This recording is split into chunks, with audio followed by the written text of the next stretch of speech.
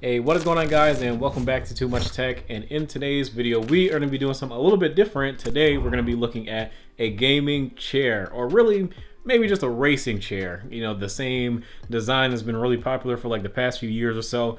Easy SMX, a company on Amazon, decided to send us out a chair for review. Huge shout out to them. Thank you guys so much for sending out this review unit. This is not a sponsored video, but they did supply the chair for review. And I was really surprised at the quality of the chair for the price point because I think this chair, the full price of it is maybe like 170 or 180 bucks. And for that amount of money, because of the kind of market that the gaming chairs are kind of going, you know, you can see them easily three, four, five hundred dollars for a gaming chair. And you would think that a chair half the price would not be as good, but I was pleasantly surprised at how comfortable this thing is, and this thing is definitely my main chair. Now that I've been sitting in it for the past two weeks, I can definitely tell you that my posture has improved. I'm not really having nearly as many back issues from like sitting so long and editing all these videos and stuff, and it has been a much pleasant experience to do the same things that I normally do at my desk. Now I just feel a lot more comfortable, I have a lot more energy, and it's just so much easier for me to do it now because I no longer have to have the stresses of my back hurting after sitting in a crappy chair for a really long time. So yeah, guys, this is it. This is the chair from Easy SMX. I will have this chair linked in the description below if you guys want to take a look at this exact ones. I will have some other chairs of theirs linked in the description below so you can kind of see the different options that they have. I think this one, I picked it because it supports up to like, I think 300 or 350 pounds. Like I said, you'll be able to check it in the description. But I am 220 so I needed something that was going to be, you know, comfortable enough, obviously wide enough because I'm not the skinniest person out there, but wide enough but comfortable at the same time with a little bit of bolstering and support, especially at the lower back and at the headrest. And this chair is actually really comfortable. Like look at how plush the headrest is on this chair. Now granted, it's not adjustable, but it's not really that big of a deal because of how tall I am.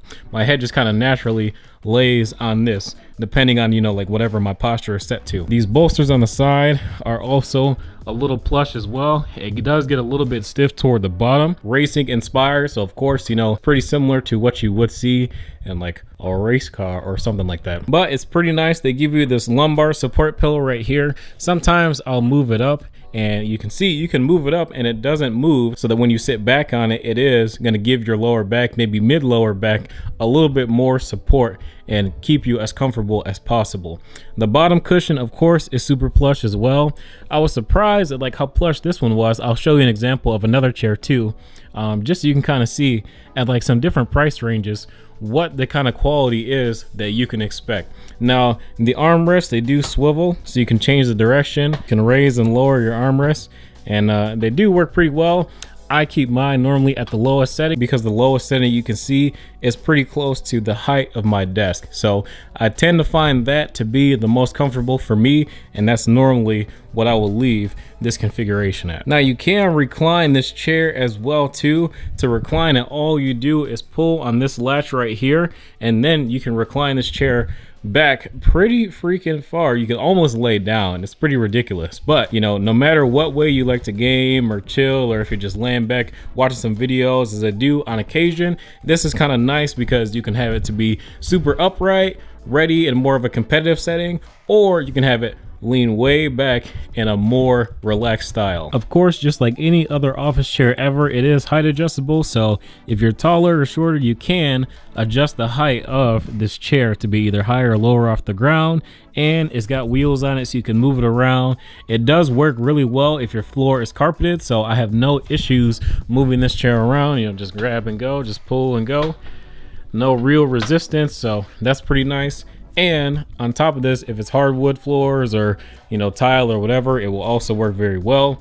But it's nice to know that these wheels do work well on carpet.